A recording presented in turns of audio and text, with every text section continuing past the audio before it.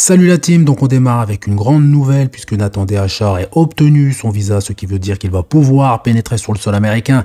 Et la deuxième information, Nathan devrait participer à l'Arnold Classic US et c'est vraiment dommage qu'il n'ait pas obtenu son visa quelques semaines avant, ce qui lui aurait permis de participer à Monsieur Olympia 2024 car il possède le physique qui lui aurait permis de se classer dans le top 10 à Monsieur Olympia. Donc concernant les athlètes qui participent à cette compétition, donc l'Arnold Classic, la liste officielle n'arrivera pas avant quelques jours. Et même si pour le moment rien n'est sûr, à 100%, seuls Andrew Jack et Nathan DHA sont susceptibles d'y participer car il y a toujours des surprises de dernière minute. Et si vous regardez régulièrement mes vidéos, vous avez l'habitude. On enchaîne avec Martin Fitzwater qui va tenter de décrocher sa qualification pour Monsieur Olympia 2025 en participant au Prague Pro Show qui aura lieu en fin d'année.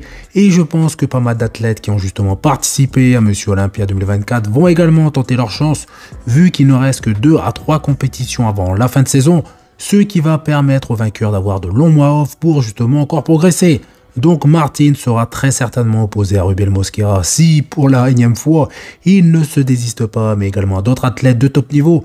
Mais Martin part grand favori au vu de son classement et du physique présenté à Monsieur Olympia 2024, car on ne peut pas nier que Martin a affiché un physique très impressionnant pour son tout premier au Monsieur Olympia, et il aurait pu même terminer à la troisième place, et j'espère qu'il parviendra à remporter le Prague Pro Show, ce qui lui permettrait d'ajouter plus de volume à son physique en gardant son côté très esthétique pour un athlète de petite taille, donc il fait déjà partie des meilleurs au vu de son jeune âge, et s'il continue sur cette lancée, et si tout se passe bien pour lui, il risque de faire très mal dans les années à venir. On passe à Matt Jensen qui a fait beaucoup parler de lui ces derniers temps, il a posté un message en réponse à tous les propos tenus à son encontre, plus précisément de la part de ses anciens athlètes, Sean Clarida, Brett Wilkin, Nick Walker et Quinton Bestwood, l'athlète qui a démarré justement les hostilités envers Matt Jensen.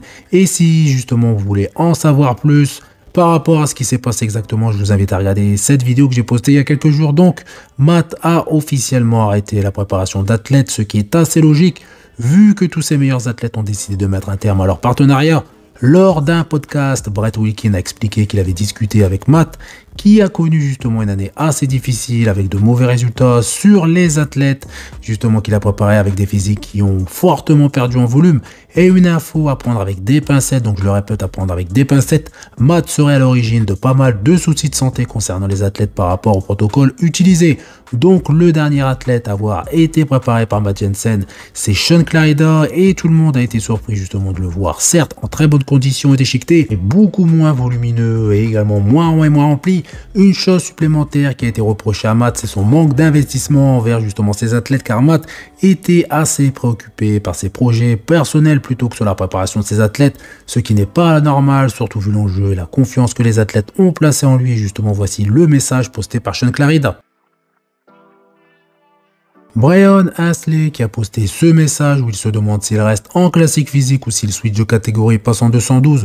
Plus besoin de rappeler que Brian Hasley est âgé de 45 ans ce qui est vraiment impressionnant sur le plan de la longévité et du physique qu'il affiche toujours justement sur scène même s'il n'est plus à son prime. Et je ne sais pas si Brian est vraiment sérieux mais dans tous les cas ce n'est pas une bonne idée à son âge. Et dans une catégorie de plus supérieure même si je suis sûr qu'avec quelques années de moins Brian aurait pu faire partie des meilleurs justement de la catégorie car en classique physique Brian est toujours dans le top athlète.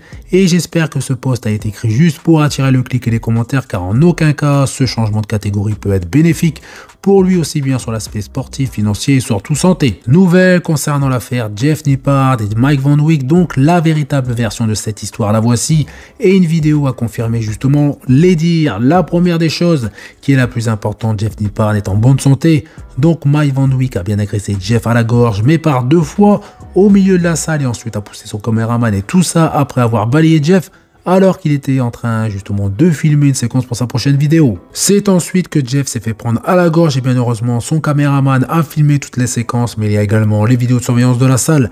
Jeff a reçu énormément de messages de soutien et il ne comprend toujours pas pourquoi Mike s'en est pris à lui physiquement. Même s'il est en total désaccord avec ses propos, ce n'est pas une raison bien évidemment pour en venir aux mains, surtout vu la différence de gabarit. Ramon Dino vient de confirmer lui-même qu'il ne participera pas à l'Arnold Classic car il veut, tout comme a dit Chopin, se concentrer à 100% sur Monsieur Olympia 2025, surtout en l'absence du champion incontesté de la catégorie, donc Chris Bumstead, qui lui a même conseillé justement de se concentrer uniquement sur Monsieur Olympia, chose que Ramon va faire en sachant qu'il aura des adversaires de taille, mais Ramon va devoir commencer par se qualifier pour Monsieur Olympia 2025, car cette année il a fini à la quatrième place et seulement les trois premiers sont qualifiés directement pour le Monsieur Olympia suivant. Ramon va devoir être au top de sa forme pour décrocher cette qualification car depuis quelques mois, Ramon est loin d'être celui qui va justement entre guillemets faire oublier Chris Bumstead. Et on finit avec un message de Quinton Bestwood destiné à son ancien préparateur Matt Jensen. So I saw that Matt came out with a statement and I wanted to say that I wish him all the best with his future endeavors. I wish him, I think he's doing um, triathlons, he's trained to be a triathlete. I think that's incredible. So, hey, wish you all the best. All the best with the family, with the kids, and the sports. And hey, shit happens. You know, we say our piece and we move on. You know, there's no hate here. So, anyways, guys, moving on from the situation. We're still gonna crack jokes, though. We're still gonna crack jokes because, listen, man, if you can't take humor out of situations, then Donc voilà, c'est tout pour cette courte vidéo. Donc comme d'habitude, je compte sur vous pour faire péter les pouces bleus, ça fait plaisir. Vous pensez également à vous abonner pour ne rater aucune de mes prochaines vidéos et je vous dis à bientôt. Salut